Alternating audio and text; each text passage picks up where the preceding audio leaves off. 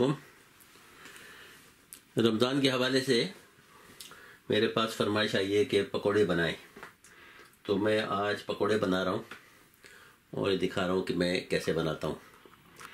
तो सबसे पहले ये तकरीबन हमने 300 साढ़े तीन सौ ग्राम जो है बेसन का आटा लिया है।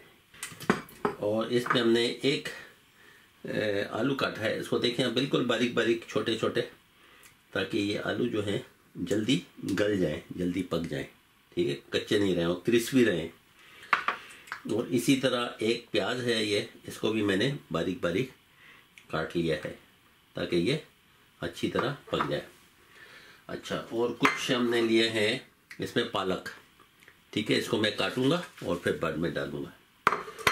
और इसके अंदर कुछ हमने लिया है ये ये है हरा धनिया, इसको भी काटूँगा बारीक बारीक और फिर मिला दूँगा। ये तकरीबन चार जो है हरी मिर्च ये लिए मैंने। अच्छा और कुछ दो चमचे दही लिए मैंने। अच्छा अब मसालों में सबसे पहले हमने ये लिया है तकरीबन एक पौना चमचा है इसमें नमक, ठीक है? और एक चमचा जो है ये है बेकिंग पाउडर, एक चमचा चाय का। और ये क्वार्टर चमचा चाय का जो है, ये है सिट्रिक एसिड जिसे कहते हैं नींबू का सत सिट्रिक एसिड इससे बहुत टेस्टी बनता है। अच्छा और ये है हमारा साबित धनिया है, ये एक चमचा। इसे मैं अच्छी तरह कूटूँगा। और कूटे हुए आधा, इसको तकरीबन फिफ्टी परसेंट इसका हो जाएगा, कटेगा। कूट के उसमें डलेगा। और ये तकरीबन आधा चमचा जो है, इसमें गरम मसाला है। तो और इसको हम सनफ्लावर ऑयल में फ्राई करेंगे। सनफ्लावर ऑयल ठीक है? अच्छा तो सबसे पहले क्या करते हैं? अच्छा और ये साबित ज़ीरा है, एक चमचा, ठीक है? अच्छा सबसे पहले क्या करते हैं हम? कि ये बेसन को लिया, और बेसन में सबसे पहले हमने नमक डाल दिया। मैं इसको करीब करूँ आपके।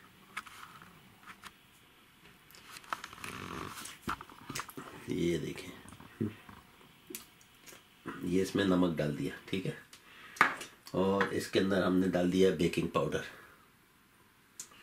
और ये सिट्रिक एसिड जो है हमारे पास, ये भी डाल दिया हमने, एक पाव चमचा, ठीक है?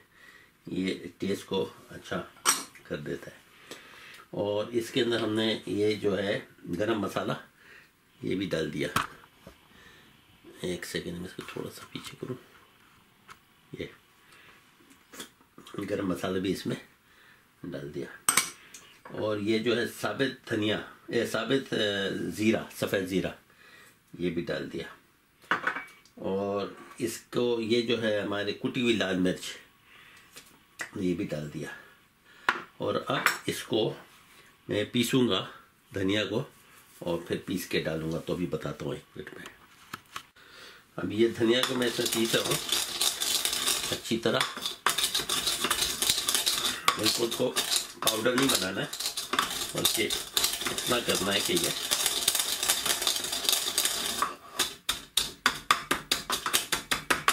ठीक है, इससे अच्छी, इसकी अच्छी टेस्ट आती है और अच्छा खुशबू आता है। ये हमने कर लिया, ठीक है?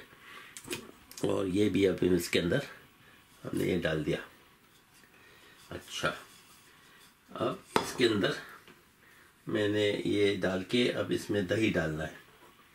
तो ये दही भी इसको यहाँ ला के इसके अंदर दही डाल देते हैं। ये दही चला गया। दो चमचा है दही। दो खाने का चमचा। ठीक है।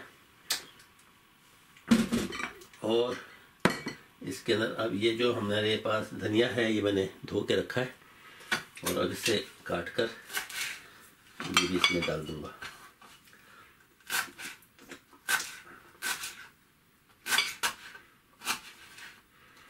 इससे बड़ी अच्छी खुशबू आ जाती है धनिया से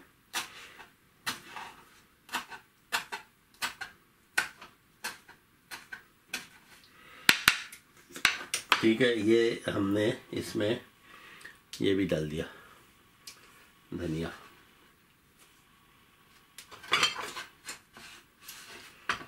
अब सिर्फ़ रहता है पालक। अब इस पालक को भी मैं थोड़े से काट लेता हूँ बारीक बारीक।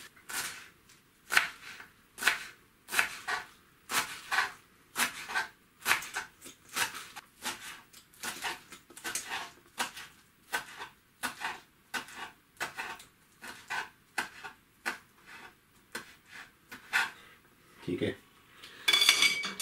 अच्छा अब मैं जाके पहनता हूँ ग्लव्स और उसके बाद इसको मिक्स करते हैं हाथ से।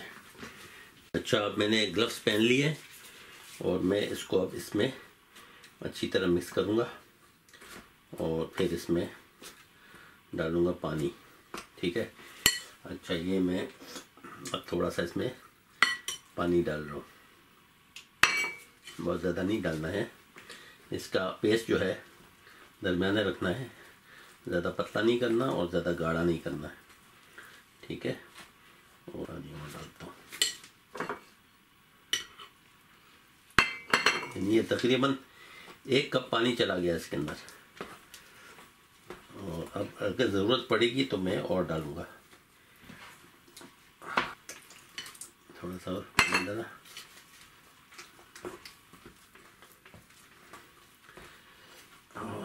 मैं अब इसमें अपना हाथ डालता हूँ, ठीक है? तो ये मैंने निकाला चमचा और मैं इसको हाथ डाल के पीसता हूँ। हाथ में मसला ये कि चिपकने लगते हैं हाथ, ठीक है? अब इसके अंदर मैं ये डाल देता हूँ।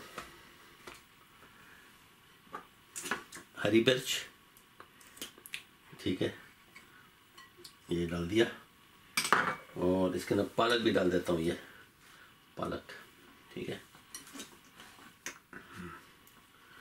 और इसको फिर अच्छी तरह मिक्स करते हैं।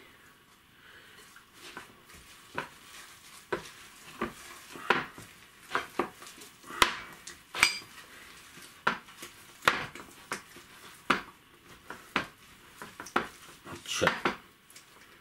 थोड़ा सा इसमें डालना पड़ेगा और अच्छा अब इसके अंदर हम, ये जो हमारा प्याज था, प्याज, एक प्याज था, ये भी हम डाल देते हैं इसमें। ठीक है? और फिर इसको अच्छी तरह मिक्स करते हैं, प्याज को डाल के।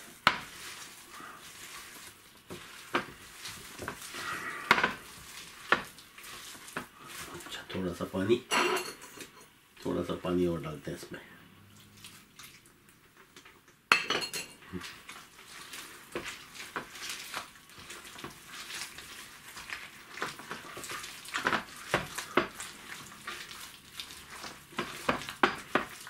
ठीक है? अब इसके अंदर हम जो हमारा आलू है, अभी आलू भी इसके अंदर हम मिक्स करते हैं। ये है हमारा आलू, ठीक है? ये एक आलू था। इसको भी हमने डाल दिया इसमें।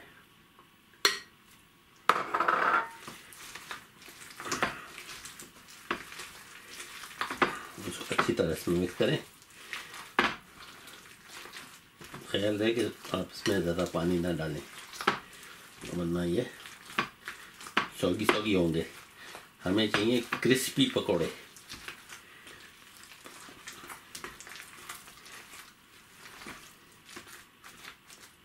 ठीक है? इस तरह।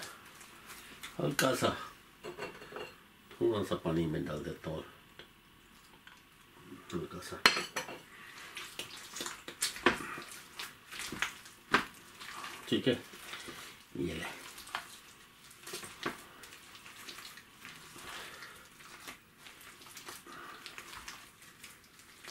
हाँ।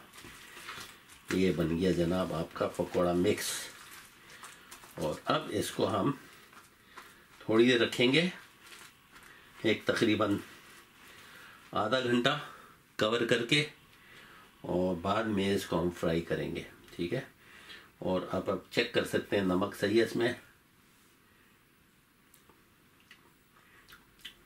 हम लोग तो नमक कम खाते हैं, लेकिन इसमें आपको ज़रूरत होगी। आप मज़ीद नमक डाल सकते हैं इसमें, ठीक है? मेरे हिसाब से नमक कम है, लेकिन अब हम क्या करें? मजबूरी है अब कम नमक खाते हैं। आप नमक थोड़ा सा बढ़ा दें और यही जाएगा दिन में। That's it. अब आधे घंटे के बाद इसको मैं फ्राई करूँगा। तो आधे घंटे बाद मिलते हैं, ठीक है? अच्छा अब इसे आधा घंटा हो चुका है तो अब मैं तेल गरम कर रहा हूँ और इसके बाद में इसके अंदर मैं डालूँगा और ये जब पक जाएगा तो इसको प्लेट में निकालूँगा। इसमें मैंने पहले से पेपर टावल लगा दिया ताकि इसकी जो घी है एक्साइज वो इसमें हो जाए। तो चलते हैं, बिस्मिल्लाह। और इसको आप, इसको जो है, आप चमचे से निकालें। चमचे से, ठीक है? चमचे से निकालें इस तरह। और इसमें डाले लो अच्छी तरह गर्म नहीं हुआ अभी तक। थोड़ा सा इसको और गर्म होने दें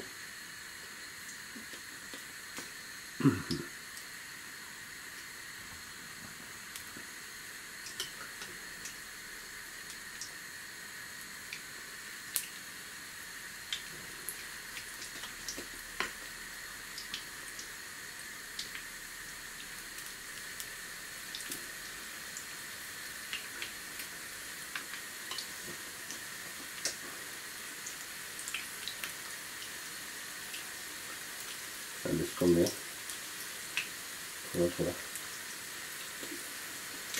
तो ख्याल रखें इसको। जब तक ये फ्राई हो ना जाए, इसको ही नहीं, वरना ये होता कि इस बार इसके जो है आलू अलग हो जाएँगे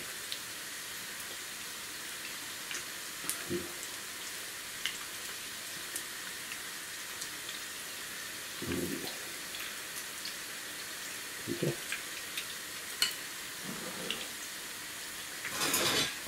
आप तकरीबन दो से तीन मिनट तक हल्के चूल्हे पे फ्राई करते जाएँ। अब ये जब ब्राउन होने लगेगा, तब इसको आप निकालें। तब इसको पलटें पहले तो। और फिर उसके बाद इसको निकालें।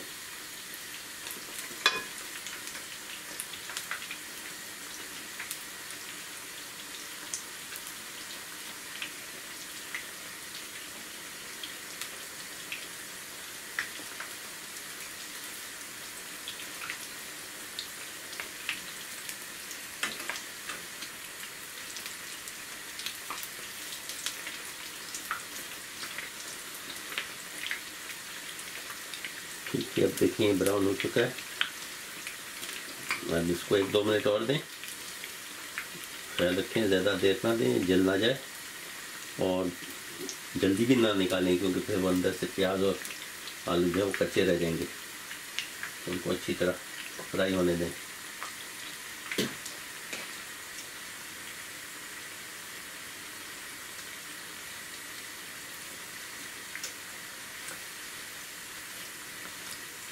अभी मैं इसमें से एक पीस निकाल के चेक करूँगा। कि इसमें इसका वो अंदर से आलू और प्याज पका है कि नहीं? और फिर निकाल दूँगा। अच्छा ये पीस है। इसमें से ये एक पीस निकालता हूँ मैं। ये वाला। और उसको तरफ़ पे देखता हूँ।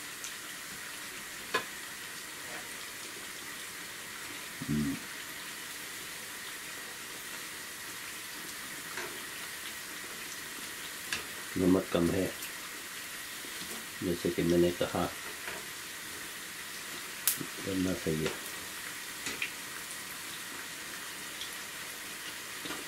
ठीक है? अब ये पक गया। इसको निकाल के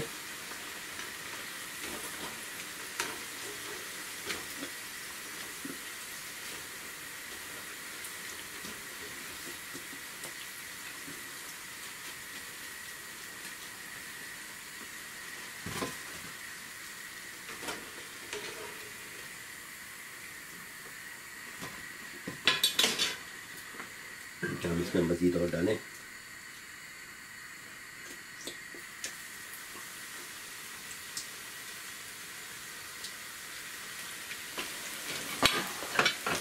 तो ये देखें, ये पक गया, ठीक है? तो अब ये पक रहे हैं।